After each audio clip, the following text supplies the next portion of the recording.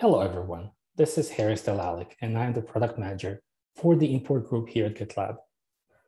Today, I'm going to test drive a new feature that allows me to migrate a GitLab group from one instance of GitLab to another.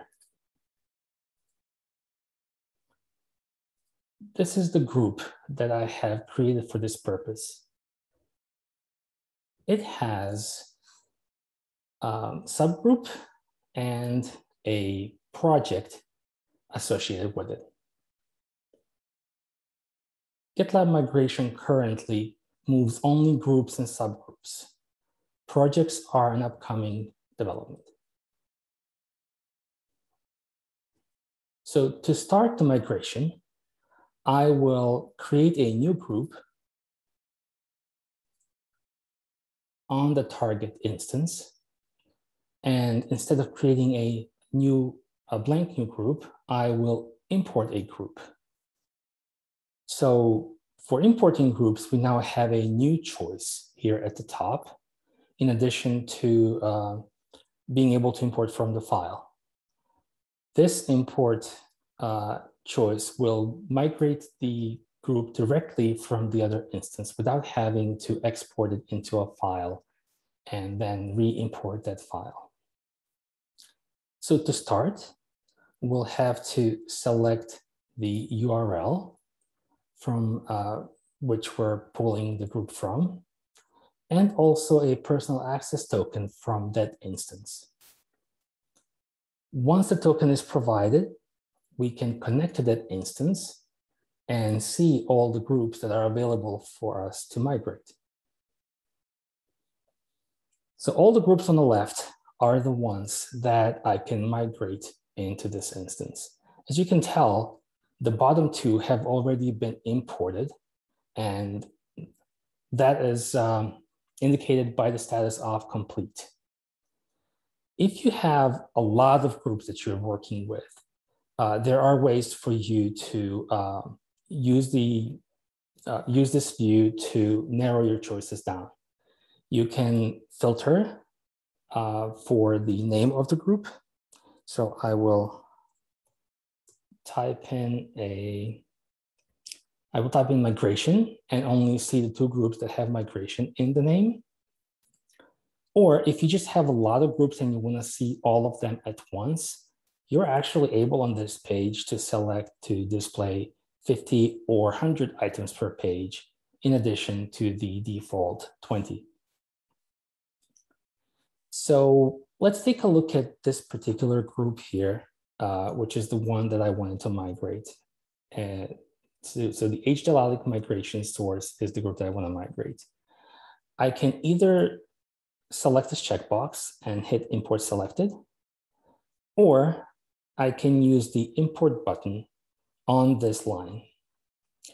As you can tell, this user experience allows you to select all of the available groups to be imported at once, or just to you know just select a few that you need and import those uh, altogether.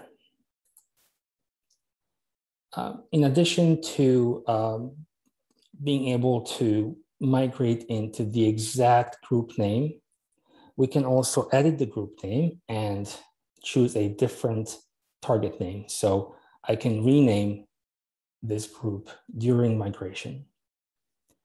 I can also migrate the group into a uh, top level group that I have here called a group for migration testing. Or I can select um, any other group that I have access to, or even select the no parent option, which means that this group will have no parent in the target instance, meaning that this will be a top level group, not a subgroup. So now that I have uh, selected my options, I will go ahead and start the import.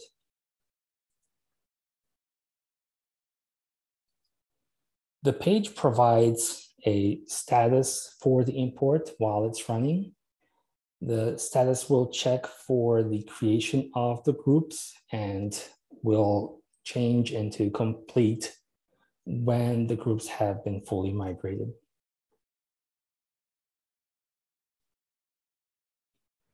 So while the import is running, um, let me mention that the group that I expect to have migrated is uh, this HDelalic migration source. I expect it to be migrated into a group called HDelalic migration target. And I do expect to see there the subgroup that's uh, in this group.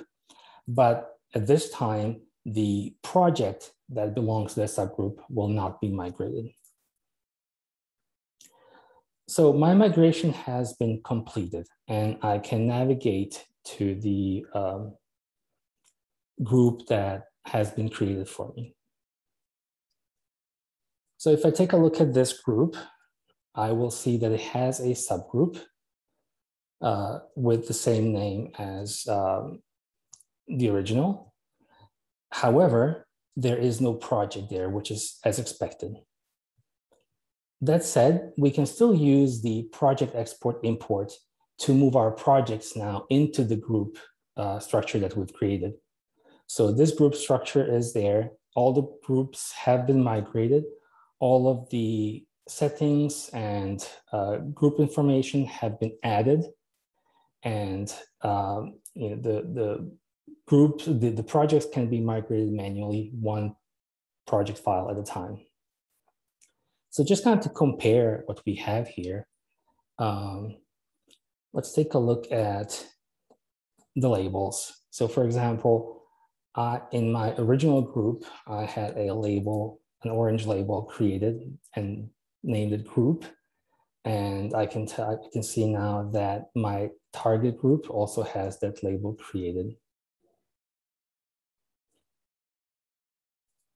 So now to um, complete the migration of the project, we need to go to the um, to the actual project uh, in the source to settings and create an export.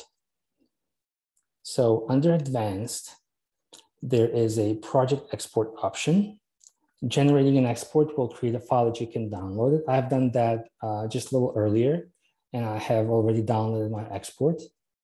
So what I'll do now is I will import that project file into my new uh, group that I've created. So I will open the subgroup. I will create a new project.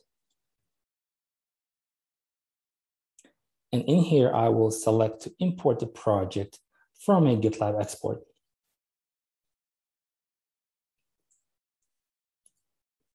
So I will choose the file and give this project a name.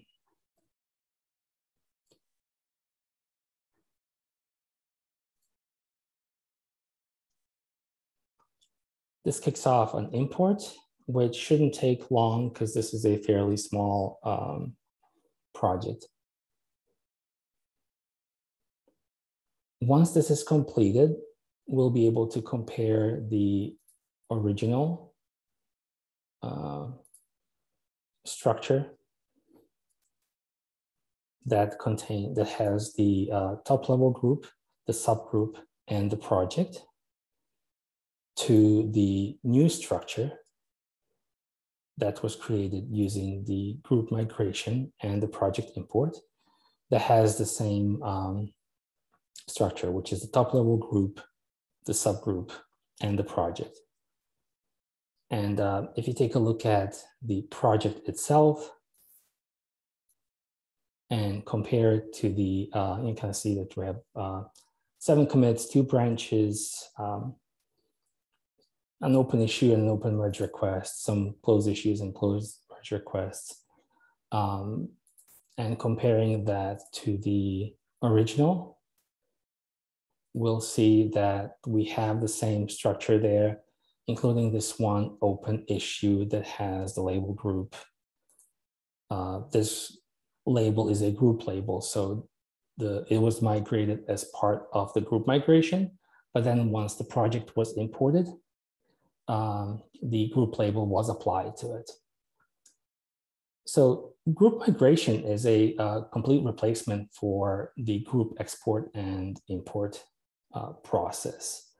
It makes it a lot easier to do this because it's a uh, one-click uh, single step action that you need to take in order to migrate your entire tub group with all of the subgroups included.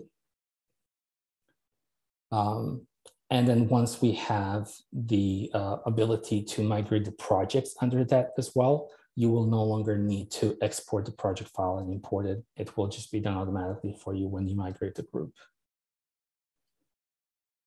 Um, so this concludes the walkthrough of the GitLab migration feature. Uh, please leave your comments in the feedback issue linked under this video. Thank you very much for watching.